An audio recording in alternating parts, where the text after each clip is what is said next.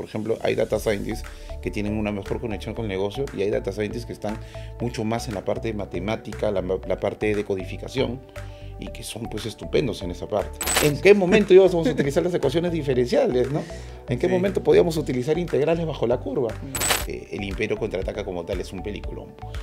Claro. Es un peliculón. Recuerda que yo soy tu padre.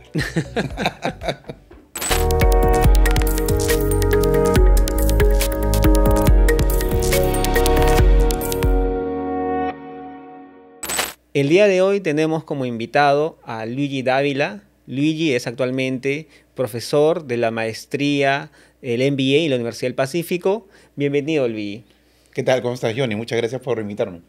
Luigi, has tenido una gran experiencia, una larga trayectoria en el mundo de, la data y la analítica. Has pasado por empresas como Telefónica, Interbank, Alicorp. Cuéntanos un poco sobre, sobre tu experiencia desde, desde cómo empezaste en este mundo.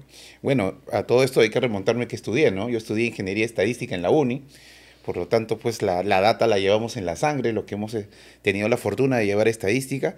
Y bueno, ¿no? Eh, salió la oportunidad en el 2009, por ejemplo, yo cuando empecé mi carrera profesional a ser analista de marketing, de marketing en Telefónica.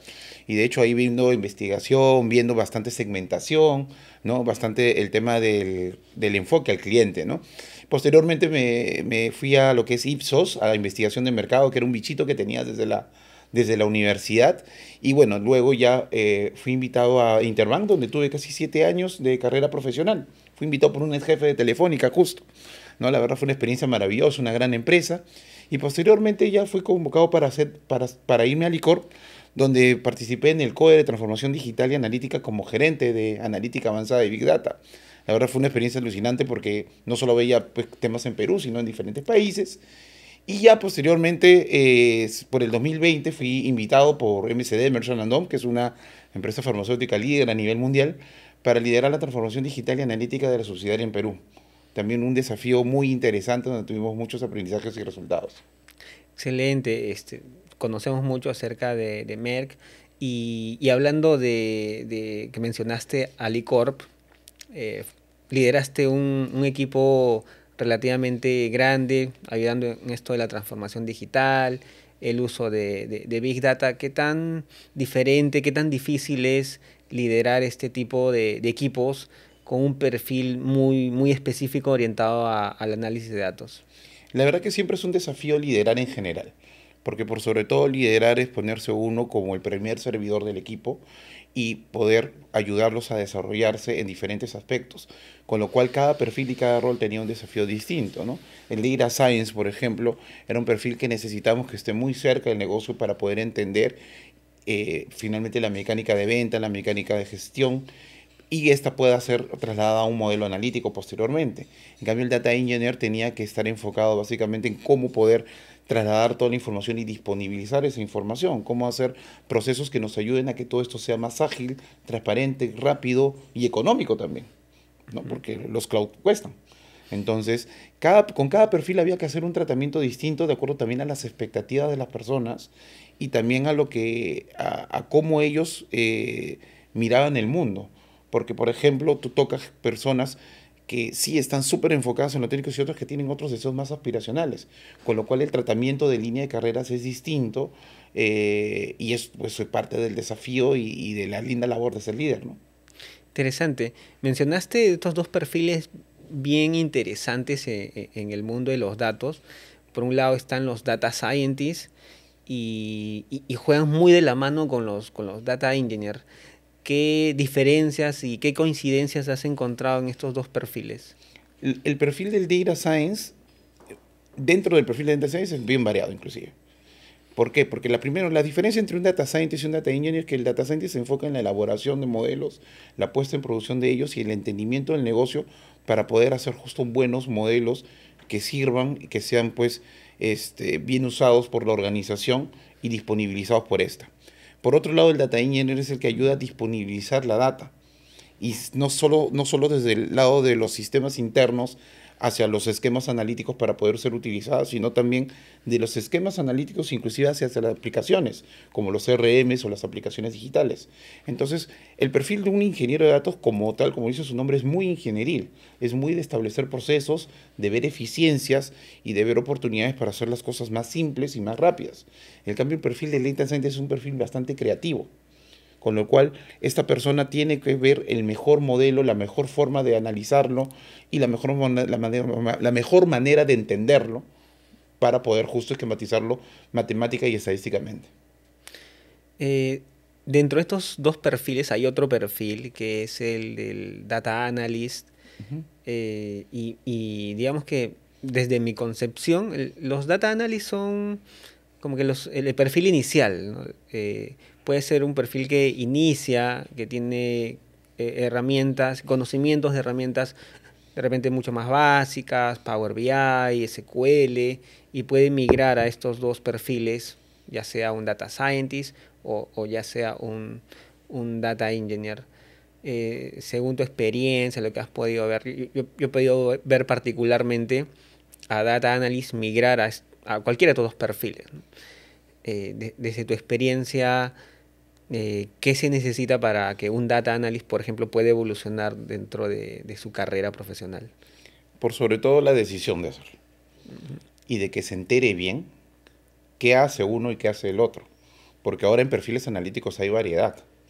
Justo hace un rato te decía, ¿no? El data scientist como tal ya no es un ente que tenga una definición propia, porque por ejemplo hay data scientists que tienen una mejor conexión con el negocio y hay data scientists que están mucho más en la parte de matemática, la, parte de codificación y que son pues estupendos en esa parte. En cambio, por ejemplo, el data engineer sí tiene una línea un poco más más este, limpia en ese sentido porque se enfoca básicamente en lo que es la gestión de los procesos, la optimización de los procesos. Entonces, es importante por sobre todo nosotros como líderes ayudarlos a que se enteren bien cómo es uno, cómo es otro, y ayudarlo en un path de carrera que lo ayude a ser exitoso también, ¿no? Yo creo que por ahí va el, el, el key del asunto y que por sobre todo el data analysis empieza con un, con un saber y con una este, expectativa muy alta, porque eh, con un poder muy grande, diría yo, porque es una persona que ya ha estado en conexión con el negocio. Generalmente ha ayudado en la reportería, ha ayudado en los análisis en corto, y es una persona que ya conoce mucho del modelo de negocio y eso le ayuda más bien cuando pasa a unas posiciones analíticas porque se vuelve muchas veces lo que se conoce como un data translator también. Y eso termina siendo pues muy poderoso para un equipo analítico. Sí, estábamos hablando en, capítulos previos acerca del, del Analytics Translator y, que juega un rol también importante dentro de estos, estos perfiles y tienen skills, digamos que muchos más, más especializados. Eh, cuéntanos un poco sobre eh, cuando iniciaste en el mundo de los datos allá por el año, digamos que 2000, 2011, 2009. 2009, digamos que eh, no se hablaba sobre los data scientists, no existía el perfil de los data engineers, mucho menos hablar de, de analytics translator. Empezaste como analista de, de, marketing y, y, cómo, cómo, así, eh, las tareas son, eran muy similares, la tecnología era muy similar. Eh, ¿Cuáles eran los retos principales en, ese momento? Yo creo que los retos no han cambiado mucho, la tecnología sí cambió bastante. Porque en, esos tiempos los analistas de inteligencia comercial, eh, no en general, no vamos a poner un nombre general a todos, como analistas de inteligencia comercial hacíamos de todo. Optimizábamos procesos, hacíamos modelos, hacíamos tableros, hacíamos muchas cosas. ¿no? Entonces, este... Por eso que el, data scientist le decía el unicornio porque tenía que hacer todo. Sí, es más, o sea, éramos data miners en ese tiempo, ¿no? Y hacíamos un tablero, hacíamos un data mart, ¿no? Este, trabajábamos con el equipo TI para hacer warehouse, trabajábamos en temas de gobierno de datos cuando no se conocía la disciplina de gobierno de datos, ¿no? Hablábamos de datos maestros cuando todavía este, todavía ni conocíamos que, que, era dama y ese tipo de cosas. Claro. Entonces yo creo que eh, eh, o sea, los problemas son bastante similares. Si hay una escala diferente con la transformación digital, porque le ha agregado un sabor distinto, la data dispar, la data este, no estructurada, que antes no, no era tan popular o muy usada, que ahora sí ya se utiliza bastante. Pero en general, este, sí, pues lo que sí ha cambiado radicalmente es la tecnología, ¿no? En, mis tiempos mozos trabajábamos pues los modelos con, con SAS y full PLSQL y ahora pues hay Python y todas las nubes que, que, conocemos y, y, la ayuda que tenemos con ChatGPT inclusive para hacer las cosas más fáciles o con Gemini, bueno, es distinto, ¿no? Sí, súper distinto. El otro día también experimentaba un poco con, con ChatGPT 4, bueno, que ahora está que, hay, que ahora hay una versión mucho más avanzada, pero que solamente le indicabas pues eh, el prompt muy sencillo y le cargabas la base de datos y, y, tranquilamente pues te mostraba los resultados como si estuvieras realizando el código en, en Python. ¿Qué opinas acerca de, del uso de ChatGPT como, como, como una herramienta y también como parte de, del reemplazo de muchas tareas que un analista de datos podría hacer? A mí la verdad que me parece fabuloso. No lo veo como un riesgo porque finalmente, eh, ¿cuánto nos toma pues hacer un código en Python ahora versus antes? Y cuando no conocíamos un código, ¿qué hacíamos? Buscamos en, Stack Overflow, ¿no? O teníamos que pues estudiar más y ver más cómo hacerlo y pensarlo más. Muchas veces era que no conocíamos el comando simplemente, pero sí teníamos la idea. Yo creo que el saber programar es tener muy claro el tema de las lógicas de programación y eso sí es irreemplazable. Y el servirse de una herramienta como Gemini, como ChatGPT, finalmente pues te ayuda a que simplifiques el tiempo y hay mucha parte de la programación que siempre la tienes que hacer, que es un gran copy-paste. Pero hay otra parte que es la parte creativa donde más bien te puede ayudar. A mí me pasó también en, en que estábamos haciendo un modelo y que veía que pues el, el, código no era tan óptimo y más bien metí el código para que me lo optimizara. ¿No? Entonces, esas son cosas que, por ejemplo, la inteligencia artificial te ayuda. Yo creo que ahí la base para que te ayude bien es que tú conozcas bien. Porque nuevamente, las inteligencias artificiales hoy todavía están empezando. Como lo leí en, lo escuché en otro podcast, son como ahorita nuestros pasantes, nuestros practicantes. Entonces, tenemos que revisar lo que nos dan. Y para mm. revisar y saber lo que nos dan, tenemos que conocer lo que está haciendo. Claro. Ahí la inteligencia artificial todavía no nos va a dar la respuesta 100% precisa, pero nos, va a ayudar un, montón como, herramienta en nuestro, nuestro trabajo diario. Eh, los analistas de datos, en todo caso, tienen que aprender a utilizarla eh, y también utilizar y aprender las, las herramientas básicas, O sea, aprender Python, tienen que aprender Python porque si no, lo que entrega ChatGPT no lo vas a poder interpretar. Y, esto... Y se este, equivoca. Sí, sí, sí. Se equivoca, se equivoca. Sí, he visto muchas equivocaciones de ChatGPT y, y puede ser peligroso inclusive en algunos, en algunos lados, ¿no? Porque eh, te puede dar una conclusión súper errónea de lo que estás trabajando. Em, e, ¿en, qué, ¿En qué aspectos tú crees que la inteligencia artificial va a mejorar de cierta manera el, el trabajo de los analistas de datos, o va a tener más impacto tal vez en los científicos de datos o en general? Yo creo que en general va a ayudar a simplificar las tareas operativas de, muchas de muchas de las partes del proceso. ¿no? Eh, desde la carga de datos, por ejemplo, que puede ser algo tan simple que, lo ponías, ya lo, lo, puede hacer por ti. ¿no? Y más bien va a ayudar a que se enfoquen en, en la estrategia de hacer un mejor modelo, en la estrategia de poder eh, pensar en una solución mucho, mucho más ad hoc al negocio, a no más bien a, eh, empaquetar tanto las cosas. Eh, en un data scientist, por ejemplo, yo veo una gran oportunidad de justo de poder hacer modelos más propios, ¿no? Y, y, y por ende también que pueda desarrollar es, este, un esquema de trabajo pues mucho más sencillo. Ahora, hay modelos que ya se vienen utilizando y que, y que ellos son prácticamente de la práctica diaria. Son, entonces esos modelos prácticamente se salen ya de, de por sí. Entonces eso ahorra tiempo.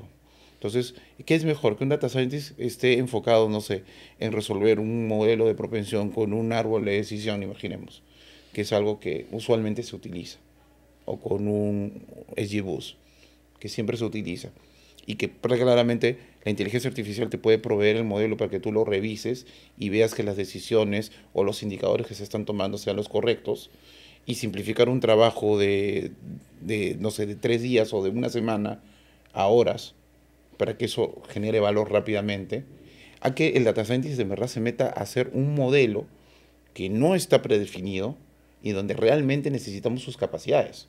Yo creo que ahí hay valor. Igual en el Data Engineer. Por ejemplo, las estructuras de datos son diversas. Y cada estructura de datos viene con, algunos se puede amoldar a Parquet, otros se tienen que amoldar a MongoDB, a muchas cosas. Entonces, ¿cómo tú trabajas justo en amoldar y en hacer una estructura para cada uno de esos modelos de datos que son completamente dispares y diferentes? Ahí es donde está el valor del Data Engineer. ¿no? Entonces, después las líneas de código y las líneas de limpieza se van optimizando. Cada día van a haber más y más herramientas para que eso se simplifique. Y está bien que se simplifique, porque yo necesito que ese profesional piense más bien en ese problema, que más bien las herramientas automáticas no lo van a poder resolver. Sí, totalmente, totalmente de acuerdo. Eh, en todo caso, hay una oportunidad desde el lado de los data scientists, como los data engineers y los data analysts, de además de, de adiestrarse en las herramientas típicas, digamos, eh, ya sea Power BI, ya sea SQL, ya sea pues este conocimiento de algoritmos de Machine Learning. Además, tienen que conocer eh, y utilizar de manera efectiva estas nuevas herramientas de inteligencia artificial, bueno, como ChatGPT, que creo que ya se, se ha normalizado su, uso, Y, de verdad que es súper potente. Y más bien yo creo que le agrega un factor adicional, que es que, y que lo veo como un riesgo a veces en, en las formaciones analíticas, es que realmente vuelvan a los orígenes bien de lo que se tiene que estudiar y aprender, ¿no? Como por ejemplo es la algoritmia, como por ejemplo es la matemática, como por ejemplo es la estadística. Nosotros en Alicor nos tocó hacer modelos para productores de camarones y salmones, con lo cual tuvimos que aprender de biología, tuvimos que aprender un poco de veterinaria, de las mareas del océano y muchas cosas que, que en mi vida había pensado aprender. Y para hacer ese modelo tuvimos que hacer una conceptualización matemática de eso. En ese momento nos juntamos con un equipo de consultores de alto nivel, que varios de ellos PhD, y tuvimos que hacer una conceptualización matemática del cómo hacer eso. Y era algo que solamente lo había visto en libros en la universidad. Nunca pensé de verlo de forma aplicada. ¿No? Claro. ¿no? Ver derivadas, ver ecuaciones diferenciales, y ver todo ese tipo de cosas de cómo oye, plantearse. Ahí está la respuesta. ¿En qué momento vamos a utilizar las ecuaciones diferenciales? ¿En qué momento íbamos a utilizar las ecuaciones diferenciales? ¿no? ¿En qué momento podíamos utilizar integrales bajo la curva? Mm. Pero sí hay problemas así. Y ahí es mm. donde uno ve qué estudió, cómo se formó. Y eso yo creo que ahí hay una ventaja, ¿no? Para, por ejemplo, las personas que se han formado de forma adecuada en, en términos analíticos van a poder justo estar aptas para esos problemas nuevos. Es, algo importante lo que acabas de mencionar sobre la formación y tú que has tenido harta experiencia en el mundo, sobre todo de data science, y luego has liderado equipos de data scientists y data engineers, y hablando específicamente de, los data scientists, eh, si alguien, eh, si un profesional quiere ser data scientist, quiere migrar desde el lado, desde su, perfil profesional hacia, hacia el mundo de, de data science, ¿qué, le recomendarías en principio? Yo le recomendaría en principio, como lo dijo hace un momento, que se entere bien de lo que hace un data science y de lo que requiere para y de lo que requiere ya académicamente para ser formado como un data scientist. Posteriormente en ello, ya, en la, en, ya como paz de carrera, hay que ver pues de que se robustezcan sus habilidades de programación, de algoritmia, se robustezcan sus habilidades también matemáticas, este, estadísticas, en conocer machine learning, desde sus conceptos, desde sus bases. Y claro, también por otro llado, también todo lo que es el business savvy y la alta capacidad de escuchar y de ser una persona creativa. ¿No? Por otro lado, ¿no? El otro el lado de los soft skills. Por el lado del hard sí lo planteo así porque de todas maneras son las bases, con lo cual justo se puede enfrentar esos problemas diferentes y va a tener las herramientas para poder actuar de una manera distinta cuando ocurran cosas que, que generalmente pues no están by the book, ¿no? Sí, totalmente. O sea, hay una capacidad técnica que hay que cubrir para migrar al mundo de data science, este, eh, temas muy específicos como estadística, machine learning, la parte de programación y, y sobre todo, creo yo, eh, también apuntar hacia la resolución de problemas, ¿no? de problemas de, de, negocio a través del uso de, de sí, Y por eso eco con la escucha activa, especialmente en los data science, porque son porque como, como, como, como profesionales justo tienen que acercarse al negocio, acercarse al producto, acercarse a las oficinas de logística, donde les toca aplicar. ¿no? Entonces, ¿cómo pueden entender? Eh, o sea, para hacer un modelo es una simplificación de la realidad. La pregunta es cómo nos acercamos a entender la realidad. ¿no? Entonces, esa, en esa parte es la parte más rica a veces del proceso de, hacer modelamiento. y ahí es donde salen las ideas de qué qué, este, qué, qué datos voy a utilizar o datos nuevos que de repente no pensaba utilizar. ¿no? Y esa fase es muy creativa. ¿no? Por eso a veces la escucha activa es fundamental, conocer el negocio, la institución donde estás metiéndote también y por sobre todo pues este, entrenarte justo en esa creatividad que, como tú lo comentas, ¿no? Sí, es, la palabra importante, interesante que inicialmente comentaste sobre los data scientists, muy asociados a, la parte de creatividad, los data engineers muy asociados creo a la parte de, optimización, de, de, eficiencia. Y un poco ya yendo tu experiencia eh, como líder, eh, has tenido pues equipos a cargo, ya sea como jefe, luego como, como gerente de, áreas.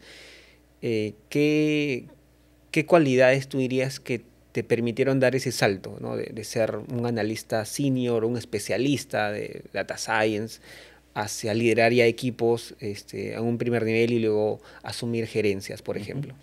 Yo creo que justo primero este, bastante, bastante la curiosidad por aprender de los negocios, donde me involucré. Lo segundo fue eh, el deseo profundo, y lo digo profundo porque lo que hacía se ejecutara. ¿no? Y eso, bueno, ahora le llaman este, intraemprendimiento. ¿no? A mí me encantaba que mi modelo se utilizara en la práctica. De hecho, como anécdota, el primer modelo justo en Interbank que, nos tocó hacer este, y ejecutar me tomó como casi 3, 4 meses que, que pudiera ver a la luz. Y era porque el proceso de convencimiento a, a, los equipos era pues en ese momento un poco más duro porque todavía no se conocía tanto de estos temas. ¿no? Entonces, este, yo creo que ahí se entrena mucho también la resiliencia de uno como analista y así va creciendo, ¿no? Y lo otro creo que es fundamental es la colaboración. Para ser líder, como dije hace un momento, tú eres el primer servidor. Y si algo que me ha gustado siempre hacer es ayudar a, a mis compañeros en el trabajo, ¿no? Oye, vamos a hacer esto, vamos a hacer aquello. Y eso te permite también tener, pues, este, esa ascendencia de tener un liderazgo, pues, este, real, auténtico y, y, no forzado por el puesto en un principio, ¿no? Sí, justamente ahora se habla mucho más de, de tener más a un líder que, que a un jefe impuesto, ¿no? y, y, lo bacán en, en, tu caso ha sido que, eh, que ese liderazgo ha sido ha nacido de manera genuina, ¿no? Y, y, tal como tú dices, ¿no? El líder es el que eh, es el primer servidor, ¿no? Del equipo, enseñándole, eh, tal vez este dándole consejos de cómo hacer mejor su, su trabajo y finalmente pues este, trabajar de manera colaborativa y en, y en equipo. ¿no?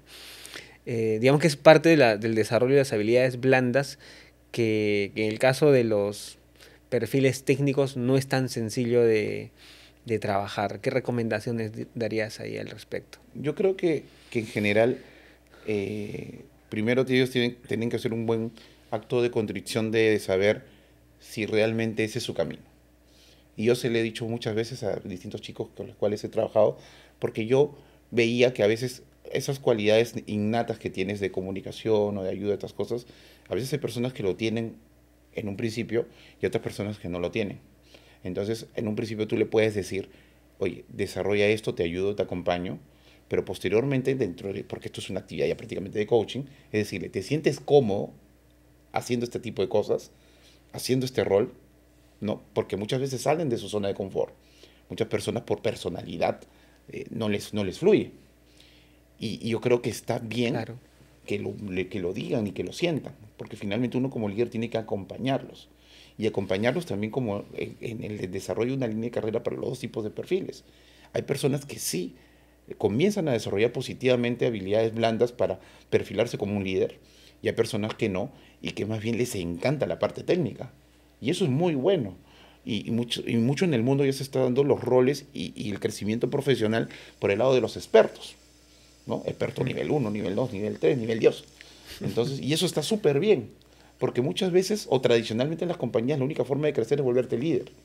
Claro. ¿no? Y no necesariamente eso es una buena opción para determinados perfiles que son muy valiosos en la parte técnica y que finalmente terminan yéndose a grandes empresas. Yo he conocido a una persona en particular que terminó en Microsoft y de ahí en Amazon y el hombre la rompe y es un súper ingeniero de datos, ahora un MLOps muy valorado en el mercado y que es un perfil netamente técnico y es feliz así.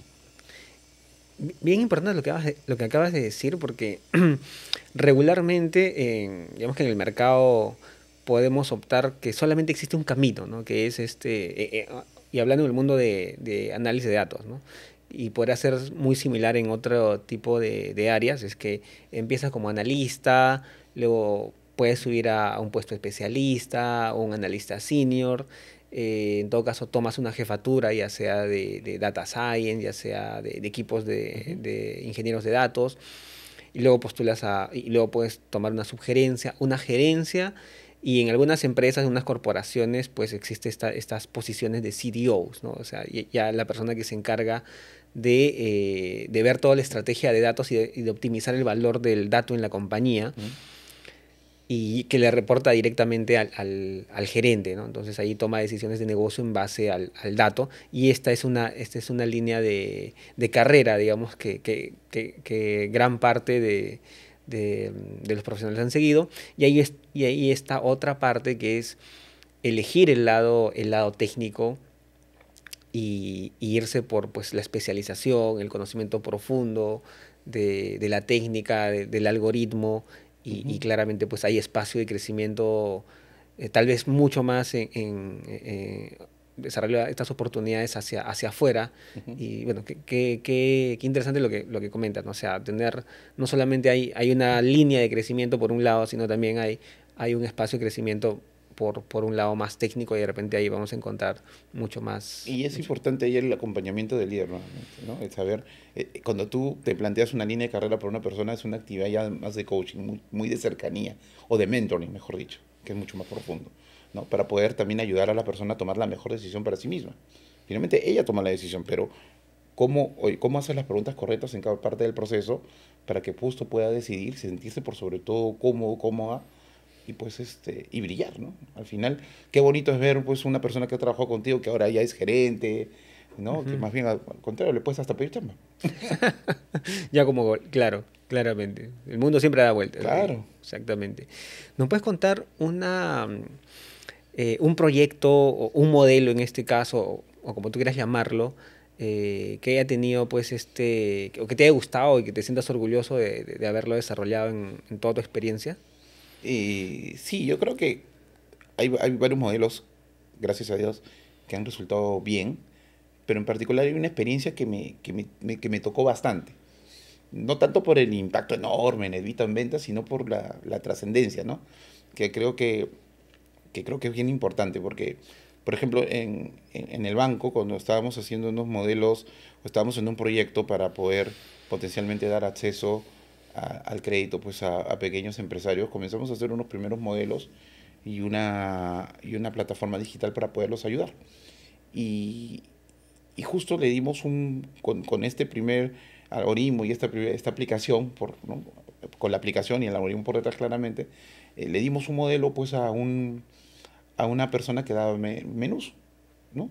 Y, y, lo fuimos a visitar, fuimos a, ver cómo, cómo, cómo, era su negocio, fuimos a validar varias cosas porque estábamos construyendo eso, ¿no? Nuevamente teníamos que aprender la realidad para poder modelarla y poder ayudarlo también a nivel de experiencia de usuario. Y lo bonito fue que cuando nos acercamos y dijimos, sí, nosotros hemos ayudado con el crédito, queríamos ver un poco más acerca del negocio, conocer un poco más, la alegría con la que nos recibió esa persona, ¿no? Hasta nos quería invitar comida. Menú gratis. Menú gratis, decíamos, ¿no? Pero bueno, yo no es que me queje de la comida, ¿no? Pero, pero este, claramente era esa sensación de, de haberle ayudado y de que ese, ese préstamo, en este caso que le dimos, realmente era, era, era algo que necesitaba para varias cosas que quería hacer en su negocio. Y de hecho hasta nos mostró, mire, he comprado este equipo, he hecho estas cosas, porque era un negocio de menús y que y, y, que también a veces alquilaba el espacio para eventos y este tipo de cosas, una mujer súper emprendedora. Y, y, que, bueno, nos mostró ese valor compartido que tienen los negocios, ¿no? Que generamos valor, ¿no? Generamos venta, utilidad, pero por otro lado, pues también ayudamos a, a, crecer a los clientes, ¿no? Esa experiencia en particular me marcó bastante porque eh, fue la, la primera vez que vi como que la ejecución directa de, en este caso, la analítica y cómo impactó en esa persona. Creo que, o sea, creo que es lo que has contado. Eh, no, es, no es muy recurrente, pero de verdad que es súper valioso y no nos ponemos a pensar justamente, ¿no? Cuando estamos detrás de la, de la base de datos, estamos eh, viendo solamente filas y filas y números y luego generamos el algoritmo y solamente pues es esa, esa persona, ese caso, es un registro, pero en realidad tiene una historia detrás, ¿no? Y qué, qué bacán que lo, que lo comentes así, porque finalmente eh, estamos impactando eh, a través de los modelos predictivos, a través de nuestro trabajo, seguramente en, en personas y, y, luego no lo sabemos. Entonces, este, qué interesante lo que... Por eso que, que salir del escritorio más. Sí, definitivamente. Y eso nos va a ayudar muchísimo. Así que, este, gracias por compartirlo. Eh, ahora entramos a una a, a, la última parte de la entrevista, eh, de esta conversación, esta, esta parte que hemos eh, denominado Datapon. Datapon. Sí, preguntas, preguntas cortitas ahí. Eh, ¿Cuál es un, eh, un hobby que, mm, que, no mucha gente sepa de, de, ti? Bueno, a mí me gusta bastante botar bicicleta.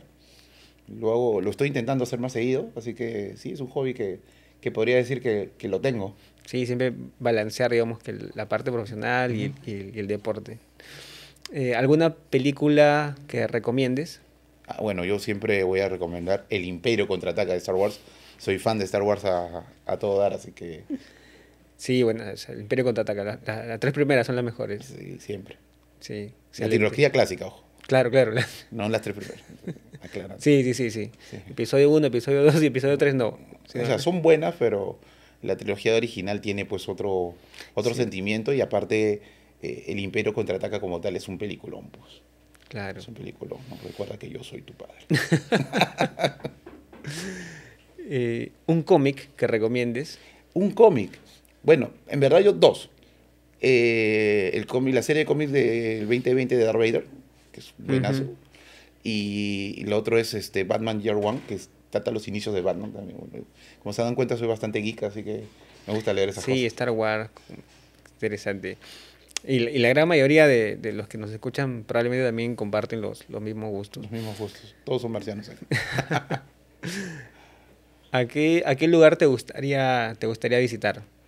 Bueno, en general me gustan los lugares con playa, ¿no? Me gustaría ir a, a un lugar, este, no sé, por ejemplo, en, en, Filipinas hay unas playas hermosas, creo que ese es mi siguiente destino. Filipinas, Filipinas muy bien. Sería, sería un buen lugar de ir. Está bien, muy bien. Eh, ¿Y qué, cuáles son tus metas para, para este año, si nos puedes contar? Bueno, ahorita justo con el tema de montar bicicleta estamos ayudándonos ahí a, a que la salud mejore en, en términos de, del peso. Así que estamos haciendo bastante ejercicio por ese lado. Y por otro lado también pues un tema de consolidación eh, profesional por el lado de, de, de, formarme más en temas de change management y transformación digital. ¿no? Excelente, excelente. Muchísimas gracias Luigi por, por acompañarnos en este episodio. Si quieres comentarle algo al, al, al público, una recomendación final. Eh, bueno, que se especialicen finalmente en lo que les da pasión. Yo creo que por sobre todo eso es muy, muy, muy relevante, porque cuando uno hace las cosas con pasión, cuando uno ama las cosas que hace, realmente las cosas suceden. Y eso implica pues meterse a profundidad en lo que realmente han decidido estudiar, han decidido hacer. De hecho, el mundo de los datos es apasionante, el que puedan estudiar cosas de data, sea como una afición o como, o como ya como una carrera profesional, siempre les va a generar una ventaja competitiva. Yo los invito a que lo hagan, a que lo exploren, a que se apasionen con esto y que realmente eso les va a generar pues grandes satisfacciones personales y por supuesto en el ámbito profesional. Excelente, muchas gracias Luigi. Muchas gracias Johnny, un gusto. Bueno, este ha sido el otro capítulo más de DMC Podcast. Nos vemos en el siguiente capítulo.